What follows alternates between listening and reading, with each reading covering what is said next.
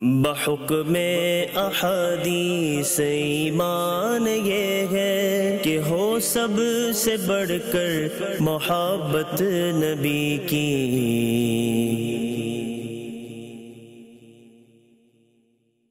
الحمد للہ رب العالمین والصلاة والسلام على سید الانبیاء والمرسلین۔ اما بعد فاعوذ باللہ من الشیطان الرجیم بسم اللہ الرحمن الرحیم الصلاة والسلام علیکہ یا رسول اللہ وعلى آلک واصحابک یا حبیب اللہ الصلاة والسلام علیکہ یا نبی اللہ وعلى آلک واصحابک یا نور اللہ اللہ کے پیارے حبیب صلی اللہ علیہ وآلہ وسلم کا فرمان ہے، تم جہاں بھی ہو، مجھ پر درود پڑھو، تمہارا درود مجھ تک پہنچتا ہے۔ صلو علی الحبیب صلی اللہ علی محمد وعلی آلہ وصحبہ وبارک وسلم۔ اخلاص کیا ہے؟ اخلاص کیسے حاصل ہوتا ہے؟ اور جو بندہ اخلاص کے بغیر عمل کرتا ہے یعنی دکھلاوے کے لیے عمل کرتا ہے اس کے عمل کرنے کا مقصد اللہ کی رضا نہیں بلکہ کچھ اور ہوتا ہے۔ اس کا انجام قیامت والے دن کیا ہوگا؟ یہ آج کے ہمارے درس کا حصہ ہوں گی چیزیں۔ امام مسلم رحمت اللہ علیہ اپنی مشہور کتاب صحیح مسلم شریف میں روایت کرتے ہیں۔ حضرت ابو حریرہ رضی اللہ تعالی عنہ سے روایت ہے۔ رسول کریم رعوف الرحیم صلی اللہ علیہ وآلہ وسلم نے ارشاد فرمایا، قیامت کے دن سب سے پہلے ایک شہید کا فیصلہ ہوگا۔ فرمایا کہ اللہ تبارک و تعالیٰ کی بارگاہ میں جب اسے لایا جائے گا تو اللہ پاک اسے اپنی نعمتیں یاد دلائے گا۔ وہ ان نعمتوں کا اقرار کرے گا۔ فقالا، پھر اللہ پاک ارشاد فرمائے گا، تو نے ان نعمتوں کے مقابلے میں کیا کیا؟ وہ شہید عرض کرے گا کہ میں نے تیرے راستے میں جہاد کیا، یہاں تک کہ شہید ہو گیا۔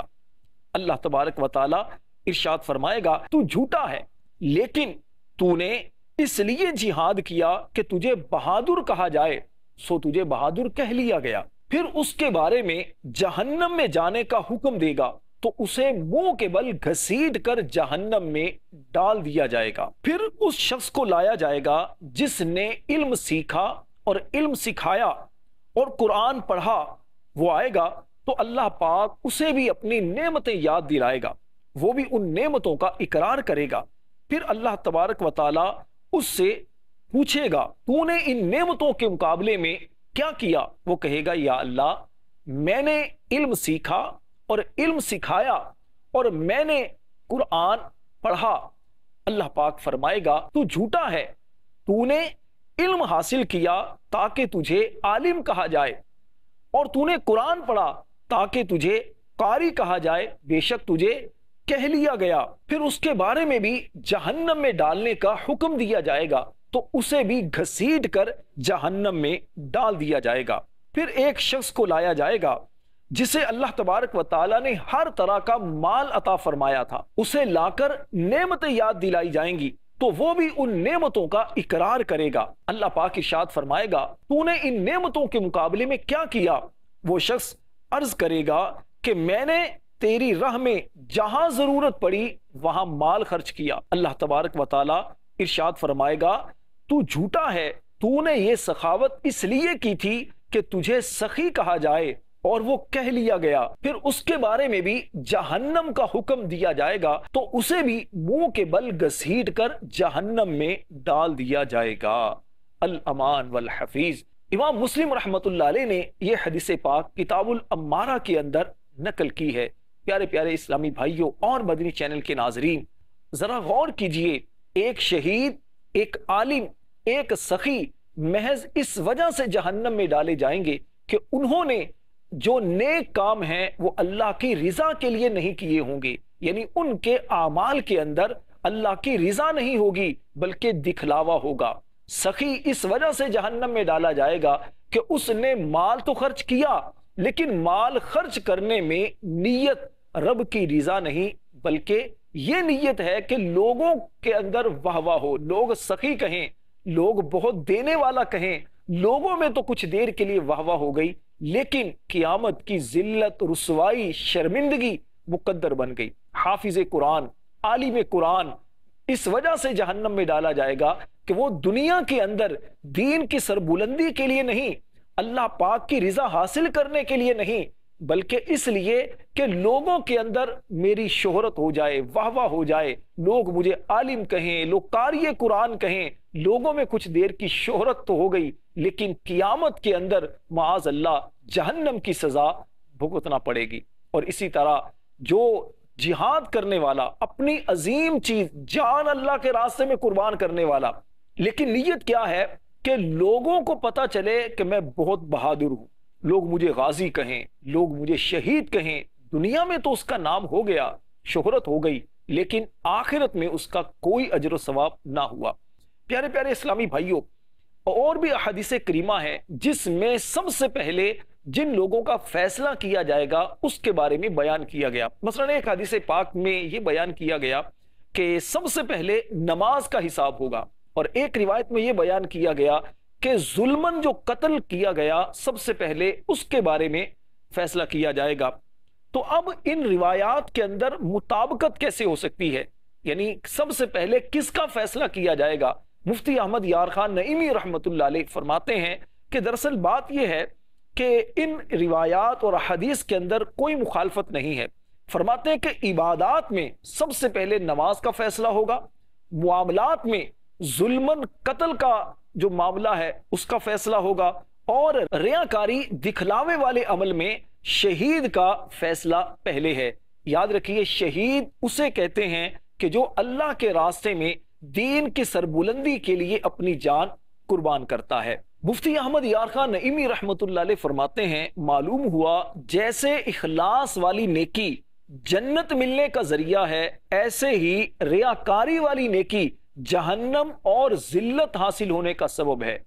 اگر اخلاص کے ساتھ عمل کیا جائے تو تھوڑا عمل بندے کی نجات کے لیے کافی ہو سکتا ہے۔ لیکن اگر ریاکاری کے لیے، لوگوں کو دکھاوے کے لیے، کچھ مال حاصل کرنے کے لیے عمل کیا جائے، تو یہ عمل چاہے بہت بڑا ہو۔ انسان نے بہت حج کیے ہوں، بہت سارا مال اللہ کے راستے میں دیا ہو، بہت نمازیں پڑھی ہوں، روزے رکھے ہوں، لیکن یہ سارا کام لوگوں کو دکھانے کے لیے ہو تو پھر اتنے سارے بڑے بڑے اعمال بھی بندے کو نجات نہیں دلوا سکیں گے، جبکہ اخلاص کے ساتھ کیا جانے والا تھوڑا سا عمل بھی بندے کے لیے نام اعمال میں بہت بڑا ہوگا۔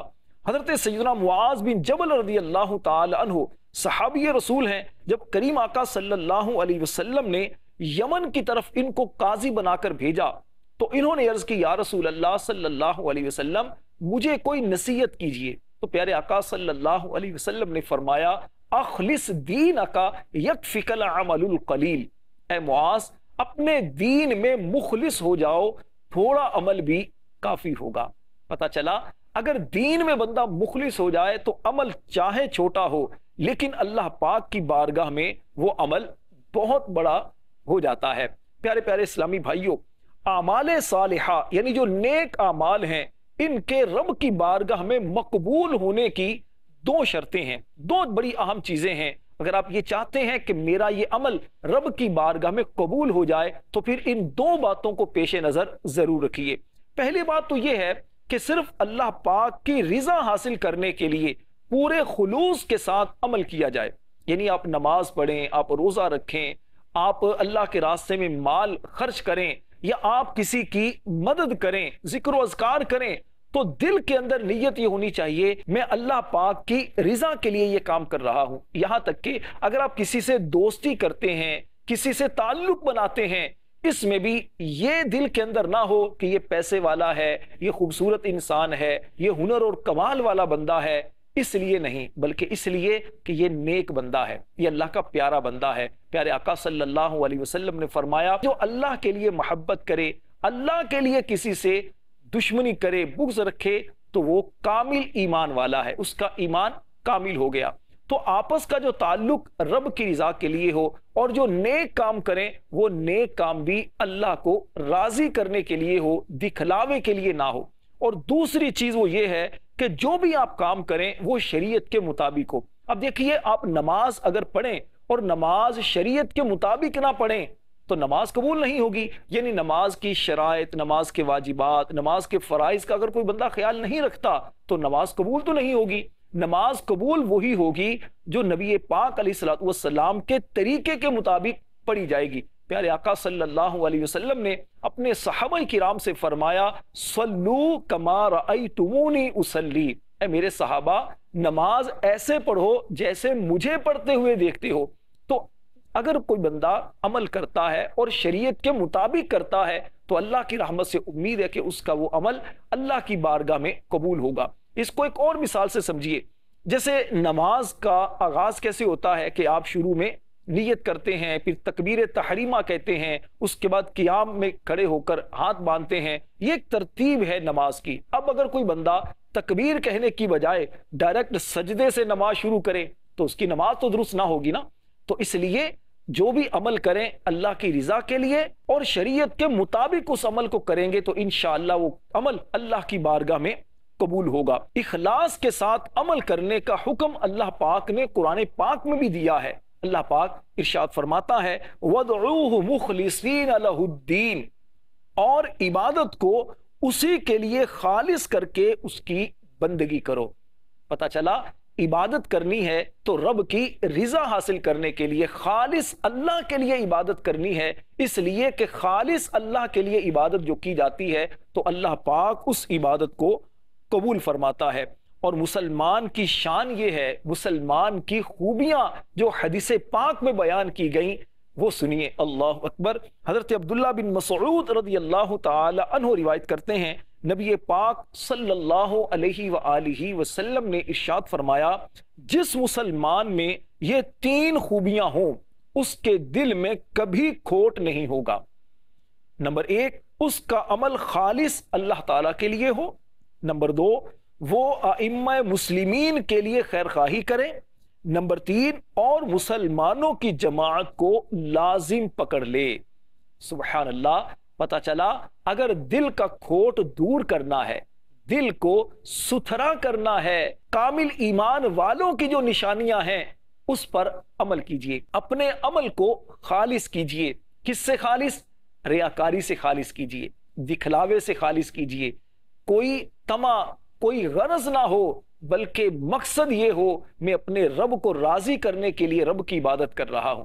اللہ پاک عبادت کے لائق ہے، اس لیے اللہ پاک کی عبادت کر رہا ہوں۔ اور دوسروں کے ساتھ خیر خواہی کا برتاؤ کرنے والا ہو دوسروں پر ظلم کرنے والا نہ ہو، دھوکہ دینے والا نہ ہو، اور دوسروں سے تعلق اللہ کی رضا کے لیے رکھنے والا ہو۔ تو انشاءاللہ الکریم، اس بندے کا دل جو ہے، وہ کھوٹ سے پاک و صاف ہو جائے گا۔ پیارے اسلامی بھائیوں اخلاص کی طاقت آپ دیکھیے کتنی زیادہ ہے۔ اخلاص کی اہمیت کتنی زیادہ ہے کہ جو مخلص لوگ ہوتے ہیں، اللہ پاک ان کے صدقے، ان کے طفیل اللہ پاک امت کی مدد فرماتا ہے۔ لوگوں پر اللہ پاک رحمت نازل فرماتا ہے۔ چنانچہ حضرت سعد رضی اللہ تعالی عنہ سے روایت ہے، سرکار مدینہ راحت قلب و سینہ صلی اللہ علیہ وآلہ وسلم نے ارشاد فرمایا، اللہ تعالیٰ اس امت کے کمزور لوگوں کی دعاؤں، ان کی نمازوں اور ان کے اخلاص کی وجہ سے اس امت کی مدد فرماتا ہے۔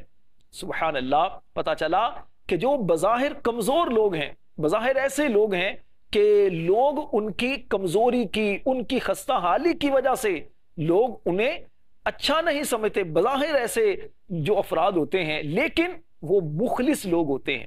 اللہ پاک کی رضا حاصل کرنے کے لیے اللہ پاک کی عبادت کرتے ہیں۔ نمازیں ایسی پڑھتے ہیں کہ لوگوں میں واہ واہ نہ ہو۔ خالص اللہ کے لیے رات کی تنہائیوں میں تحجد کے وقت اٹھ کر اللہ کی بارگاہ میں گریا ازاری کرتے ہیں۔ اللہ اکبر۔ سحری کے وقت اگر کچھ جلدی اٹھ کر اگر آپ تحجد کی نماز پڑھ لیں، قرآن کی تلاوت کر لیں، اللہ نصیب کرے، کچھ گریا کر لیں اللہ کی بارگاہ میں رو رو کر اپنے لیے اور دیگر عاشقان رسول کی بخشش کی دعا کریں گے، تو انشاءاللہ آپ کو بہت اس سے برکتیں بھی ملیں گی، دل میں قلبی سکون حاصل ہوگا۔ اور اللہ اگر نصیب کرے استقامت کے ساتھ تحجد پڑھنے کی عادت اگر نصیب ہو گئی، رمضان المبارک کے بعد بھی یہ عادت برقرار رہ سکتی ہے۔ یاد رکھیے، جس کا عمل اخلاص والا نہ ہو، بلکہ اس عمل سے لوگوں کی رضا ہو، لوگوں کے لیے دکھلاوا ہو، تو ایسا عمل اللہ پاک قبول نہیں فرماتا۔ چنانچہ حضرت ابو حریرہ رضی اللہ تعالی عنہ روایت کرتے ہیں، نبی کریم صلی اللہ علیہ وسلم نے فرمایا، اللہ تعالیٰ ارشاد فرماتا ہے، حدیث قدسی ہے، رب کا فرمان ہے کہ میں شریک سے بے نیاز ہوں۔ جس شخص نے کسی عمل میں میرے ساتھ میرے غیر کو شریک کیا، میں اسے اور اس کے شرک کو چھوڑ دیتا ہوں۔ صحیح مسلم شریف کی یہ بھی حدیث پاک ہے کہ اللہ پاک ایسے عمل کو قبول نہیں فرماتا کہ جو عمل اللہ کی رضا کے لیے نہ کیا جائے، بلکہ اس میں دوسروں کو بھی شریک کیا گیا ہو۔ اللہ پاک کی رضا حاصل کرنے کے لیے عمل کیجیے، انشاءاللہ بڑا اس کا اجر و ثواب ملے گا۔ پیارے اسلامی بھائیوں قیامت کا وہ منظر جب ہر ایک نفسی نفسی پکار رہا ہوگا، ہر بندہ پریشان اس وقت ہوگا۔ اللہ کے نبی جو ہوں گے، وہ لوگوں کی شفاعت کر کے جنت میں لے کر جا رہے ہوں گے۔ یقیناً اس وقت کامیاب انسان وہی ہوگا کہ جو اللہ کی رحمت سے بلا حساب و کتاب جنت میں جانے میں کامیاب ہو جائے۔ اور وہ بندہ بہت زیادہ پھنس جائے گا، جس کا حساب و کتاب ہوا اور اس کی نیکیاں پوری نہ ہو سکیں۔ وہ پل سرات کی دہشت، وہ میزان عمل کہ جہاں بندوں کے اعمال تولے جائیں گے، اللہ نہ کرے۔ اس وقت اگر ہماری نیکیاں کم پڑ گئیں تو پھر کیا بنے گا؟ کون ہمیں اس وقت بچانے والا ہے؟ اس وقت کی ذلت و رسوائی اور شرمندگی کو سامنے رکھتے ہوئے آج اپنے عمل کو خالص کر لیجیے۔ اس لیے کہ خالص عمل جو ہے، یہ رب کی بارگاہ میں مقبول ہے۔ ریاکاری والا عمل، یہ قیامت والے دن بھی وبال جان بن جائے گا۔ حضرت انس بن مالک رضی اللہ تعالی عنہ سے روایت ہے، رسول کریم صلی اللہ علیہ وآلہ وسلم نے ارشاد فرمایا، قیامت کے دن مہر لگے ہوئے اعمال نامے لائے جائیں گے۔ اللہ تعالیٰ ارشاد فرمائے گا، اس اعمال نامے کو قبول کر لو اور اس اعمال نامے کو چھوڑ دو۔ فرشتے عرض کریں گے، تیری عزت کی قسم ہم نے وہی لکھا ہے جو اس نے عمل کیا۔ اللہ تعالیٰ ارشاد فرمائے گا، تم نے سچ کہا، مگر اس کا عمل میری ذات کے لیے نہ تھا۔ آج میں صرف اسی عمل کو قبول کروں گا جو میری ذات کے لیے کیا گیا ہوگا۔ پیارے اسلامی بھائیوں ذرا غور کیجیے۔ آج دنیا کے اندر لوگوں کو دکھانے کے لیے، خوش کرنے کے لیے، اپنی واہ کروانے کے لیے کتنے عمل کیے جاتے ہیں۔ لوگ خوش ہو جائیں۔ اچھا لوگ پھر بھی خوش نہیں ہوتے۔ لوگوں کو خوش کرنے کے پیچھے جو جاتا ہے تو لوگ خوش نہیں ہوتے۔ لیکن جو اللہ کو خوش کرنے کے لیے عمل کرتا ہے، اللہ کو راضی کرنے کے لیے جو عمل کرتا ہے، تو لوگ بھی اس سے محبت کرنے لگتے ہیں۔ اس لیے کہ جو رب کا پیارا ہوتا ہے، تو لوگ بھی اس سے محبت کرنے لگتے ہیں۔ اللہ پاک اس بندے کی محبت لوگوں کے دلوں میں ڈال دیتا ہے۔ لوگ اس سے محبت کرتے ہیں، اس کا احترام کرتے ہیں۔ تو اس لیے پیارے اسلامی بھائیوں نیت کر لیجیے انشاءاللہ، جو بھی عمل کریں گے، اللہ پاک کی رضا حاصل کرنے کے لیے۔ اللہ پاک کو راضی کرنے کے لیے اللہ پاک کی عبادت کی جائے یا اللہ کے راستے میں مال خرچ کیا جائے یا کوئی بھی نیک کام کیا جائے، نیت یہ ہونی چاہیے کہ میرا رب مجھ سے راضی ہو جائے۔ اخلاص کیسے پیدا ہوتا ہے؟ اس کے لیے سب سے پہلے تو اللہ کی بارگاہ میں دعا کریں۔ یا اللہ پاک، مجھے مخلص بنا۔ تیرے نیک بندوں کے صدقے، جو تیرے مخلص بندے ہیں، ان کا صدقہ مولا مجھے بھی اخلاص عطا فرما۔ دوسرے نمبر پر اخلاص کے بارے میں مطالعہ کریں۔ کتابوں کا مطالعہ کریں، جنت میں لے جانے والے اعمال۔ آپ اس کتاب کو پڑھیے۔ اسی طرح نیک اعمال جو ہیں، اس رسالے کو حاصل کر کے آپ روزانہ اس کو پر کرنا شروع کر دیجیے، پڑھنا شروع کر دیجیے، انشاءاللہ اخلاص پیدا ہونا شروع ہو جائے گا۔ اللہ والوں کی صحبت جو ہے، یہ بھی بندے کو نکھار دیتی ہے۔ اللہ والوں کا قرب انسان کو اچھا بنا دیتا ہے۔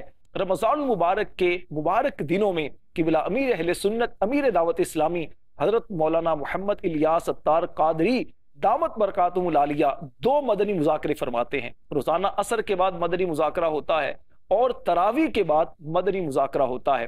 آپ مدنی مذاکرہ پابندی سے دیکھنا شروع کر دیجیے۔ اگر آپ باول مدینہ کراچی میں رہتے ہیں تو فیضان مدینہ مدنی مرکز میں آ کر مدنی مذاکروں میں شرکت کرنا شروع کر دیجیے۔ کچھ ہی دنوں میں انشاءاللہ الکریم محسوس کریں گے آپ کا عمل کتنا اچھا ہونا شروع ہو چکا ہے۔ کیونکہ اللہ والوں کے قریب جب بندہ جاتا ہے تو اللہ والوں کے قریب جانے کی برکت سے انسان اللہ والا ہو جاتا ہے۔ اللہ پاک ہم سب کو دعوت اسلامی میں استقامت نصیب فرمائے، نیک اعمال کرنے کی توفیق عطا فرمائے۔ آمین۔ بجاہ النبی الامین صلی اللہ علیہ وسلم۔ صلو علی الحبیب صلی اللہ علی محمد۔